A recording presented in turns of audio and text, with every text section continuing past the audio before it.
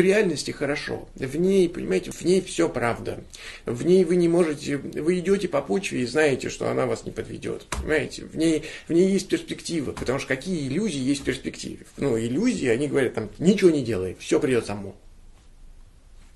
То есть вы ничего не сделаете. Если вы ничего не сделаете, что будет происходить? Ну, я просто, ну, так интересуюсь. Просто вот, вот просто лягте и не, не вставайте, ничего не делаете. Вот что будет происходить? Ну, ничего хорошего точно не произойдет. Ну, как бы плохое произойдет, вы умрете. Ну, нельзя столько времени лежать, понимаете? У вас пролежь не будет, там, еды не поели и так далее. Ну, как бы надо двигаться, надо что-то делать. И э, только, перспектив, только реальность дает вам эту перспективу. Находиться в иллюзиях э, приятнее, ровно до тех пор, пока вы думаете, что, э, что реальность страшная. Реальность не страшная. Живете-то вы в реальности. Вы э, обманываете себя иллюзиями.